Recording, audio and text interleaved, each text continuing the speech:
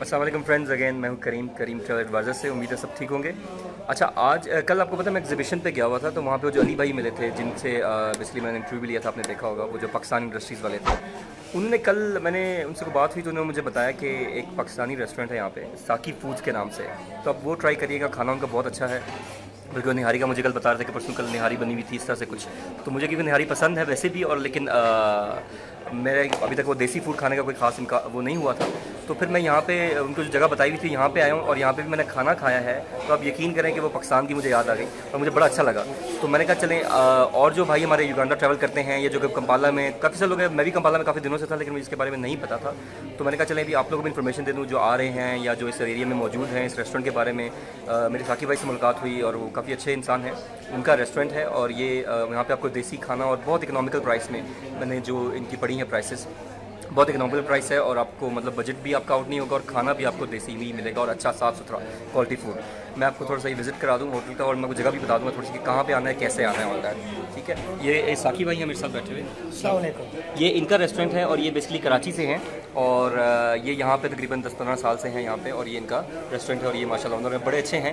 تو انہوں نے بڑے اچھی مطلب ویلکم بھی کی اور بڑی اچھی ان سے بات چیت بھی ہوئی انہوں نے اپنا ایکسپیرینس شیئر کیا مجھ سے۔ تو باقی میں آپ کو یہ جگہ تھوڑی بتا دیتا ہوں کس جگہ پہ ہے یہ آئی تھنک کنگ یہ ہے برٹن اسٹریٹ یہ برٹن اسٹریٹ ہے اگر آپ کمپالا میں ہیں تو یہ برٹن اسٹریٹ اور Standard Chartered bank city branch ٹھیک ہے اس کے نیبر ٹھیک ہے اسٹینڈرڈ چارٹرڈ جو بینک ہے اس کے سٹی برانچ کے ساتھ یہ بالکل ہے۔ اور یہ سینٹنری بینک کے ساتھ؟ جی سینٹنری بینک کی بلڈنگ کے ساتھ اگر آپ سلوپ ڈاؤن نیچے کریں گے اگر آپ مین کمپالا روڈ پہ ہیں تو سینٹنری بینک کے ساتھ مجھے بھی ایسے سمجھایا گیا تھا تو اس کے ساتھ آپ بالکل نیچے آ جائیں تو یہ ساتھ ہے۔ اور لیفٹ سائڈ پائنیئر مال کی پارکنگ سائڈ پہ آ جائیں تو ٹھیک ہے ایک اور لوکیشن یہ بتا رہے ہیں کہ پائنیئر مال کی جو پارکنگ سائڈ ہے اس سائڈ پہ اگر آپ آ جائیں گے تو بیسکلی وہاں کسی بھی سے بھی آپ پوچھیں گے Standard Chartered bank city branch ٹھیک ہے تو وہ آسانی سے بتا دیں گے۔ اور بھائی ان کا لگا ہوا ہے ساکی جو ہے فاسٹ فوڈس کا۔ لیکن فاسٹ فوڈ میں نے جب ابھی آتے ہوئے باہر میرے ساتھ یہ ہوا کہ میں نے باہر پڑھا فاسٹ فوڈ تو میں ایک دم سوچا میں نے کہا علی بھائی نے مجھے کہا تھا دیسی کھانا ملتا ہے باہر فاسٹ فوڈ لکھا ہوا ہے۔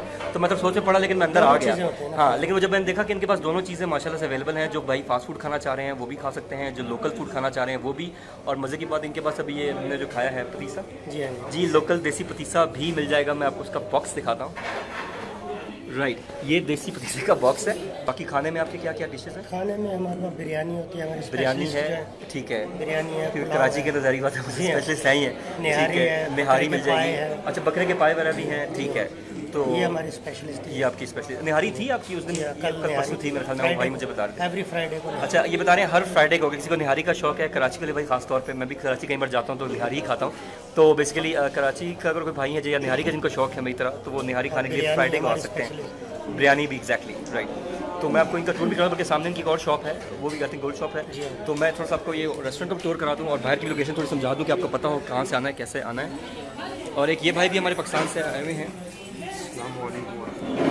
یہ بھی کراچی کے ہیں؟ جی اچھا چلیں۔ ٹھیک ہو گیا۔ چلیے میں just let me get you tour of the restaurant اچھا یہ ان کا کچن ہے بیک سائڈ پہ۔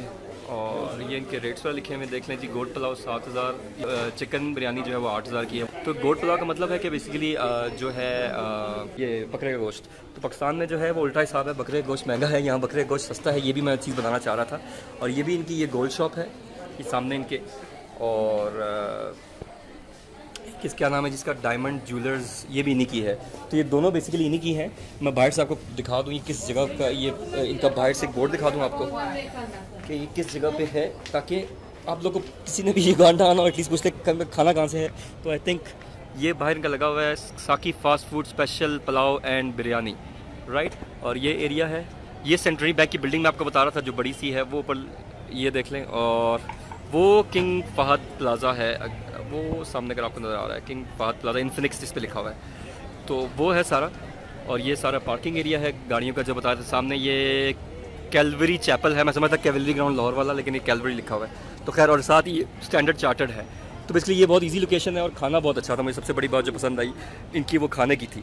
کھانا آئی ملک بہت اچھا تھا اور دیسی تھا سب سے بڑی بات آپ کو پتہ اپنے کھانے کا وہ اپنا ہی مزہ ہے راشد خان سلام کریم بھائی وعلیکم السلام راشد بھائی تھینک یو میں جو بھی ویڈیوز دیکھ رہے ہو شیئر کر دیں بس میں نے اپنے یہ ایکسپیرینس شیئر کرنا تھا کھانے کا ان کے ساتھ کا تو باقی پھر آپ کو نیکسٹ ویڈیو میں انشاء اللہ ملتا ہوں ایتھوپیا کے جانے کا پلان ہے ایک دو تین دن تک تھوڑا کام کر کے اللہ حافظ